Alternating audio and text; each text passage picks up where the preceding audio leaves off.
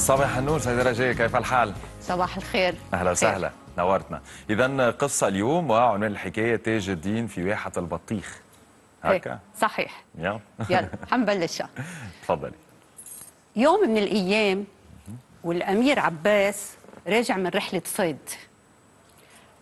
بيتلاقى قارب محطم بالمي وعلى لوحة خشب في أم ومعها طفلها الرضيع مسكة باللوحة بعجل وبينقذهم الأم والطفل الرضيع على القارب معه. للأسف الأم بتفارق الحياة وبيحمل معه الطفل الرضيع على قصره هونيك. وبيربح الطفل بال- بالقصر برعاية الأمير. بيكون كتير مميز بالذكاء بالفطنة بالأخلاق لحد إنه لما صار شاب عينوا الأمير مستشار لإله. والكل بيعجب فيه بالمم... بال... بالإمارة وبيحبوه. بس مثل ما قالك ناس محبين قالك ناس بيحسدوا. وهيك الوزير الأول عند الأمير بيروح يحرض على تاج الدين عند الأمير. تحريض بيغضب الأمير وبيستدعيه. وبيسأله صحيح إنك عم بتقول إنه أنا ما إلي فضل عليك؟ تاج الدين بينحني قدام الأمير وبيقول له مولاي أنا اللي بينكر الفضل هو جاحد. وما من مش من صفاتي إني أكون جاحد. له الأمير لأنه بيحبه. بيقبروا بالانصراف.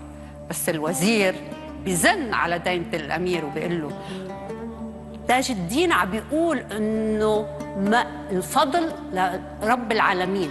رب ربنا هو اللي قرر هالشيء وإنت ما قلك إلا وسيلة. معك أو غيرك كان رح يصير بهالنعمة.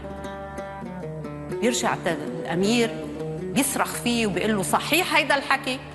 بيقول له يا مولاي النعم اللي أنا فيها أكيد من رب العالمين وأنت كنت وسيلة حلوة سببت هيدي النعم.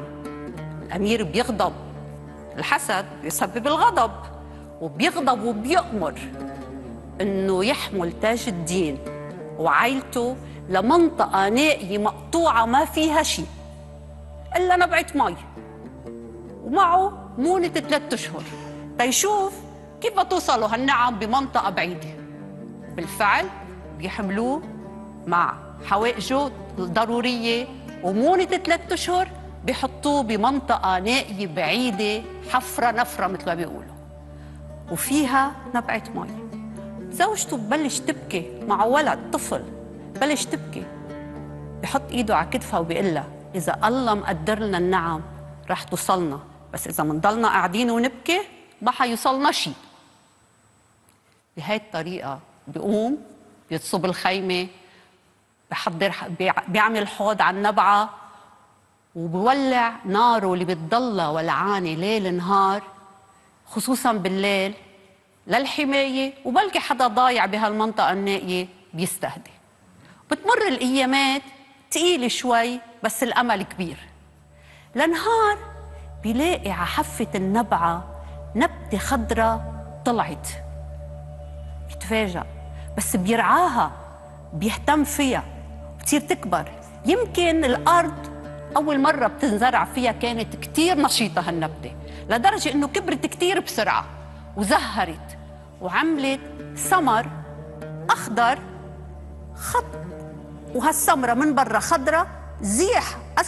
أخضر غامق زيح أخضر فاتح ما بيعرف شو هو وهو بانتظارها لتكبر وتنضج. نضجت الثمرة وكان في ثمر كتير عليها. قطفها وكسرها. لما كسرها شاف قلبها أحمر وبقلبها بذر أسود. تذكر منين إجت هاي الثمرة إنه يوم مرق رف طيور.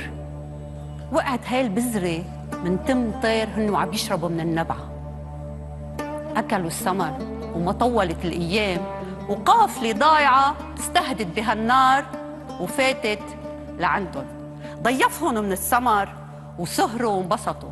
تاجر من هالتجار قال له هيدي الثمرة أنا بعرف إنه ببلاد الشام بسموها بطيخ أحمر. وهيك وتاني يوم هن عم بيودعوه حطوه زادوا له من المونة وسألوه شو بده. قال لهم أنتوا راجعين إذا بتمرقوا علي. جيبوا لي شوية حبوب شوية شجر أزرعه. وكم غنمة؟ تيصير عندي واحة. بس هو استمر بزراعة البطيخ. صار عنده واحد بطيخ. والتجار هن وراجعين جابوا له الحبوب والشجر اللي بده إياه والغنم. وفعلا صارت واحة ومقصودة. وكتير عائلات كانت مقطوعة إجت وعاشت معه صارت قرية.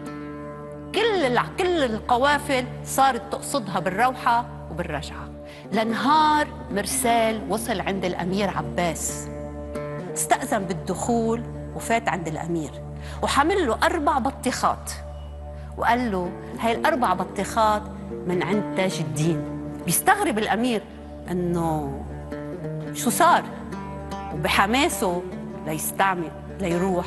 طلب من المرسال ياخده عند تاج الدين. وبيوصل الأمير على واحة البطيخ عند تاج الدين. بفوت على داره صار عنده بيت وبيستضيف فيه التجار. تاج الدين بس يشوف الأمير دغري بيوقف وبيرحب فيه وبي وبي وبيستهل فيه. الأمير بيقول له شو صار فيك؟ منين هالنعم إجت عليك؟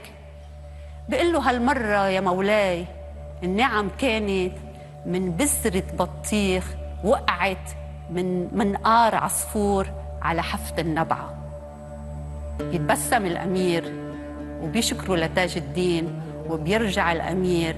عم يشكر ربه على النعم اللي بق- عطاه إياها وعلى نعمة إنه هو سبب كان سبب أو وسيلة بإسعاد ناس. شكراً.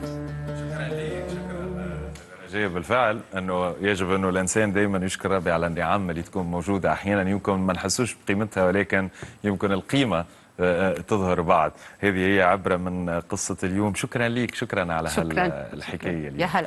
شكرا لك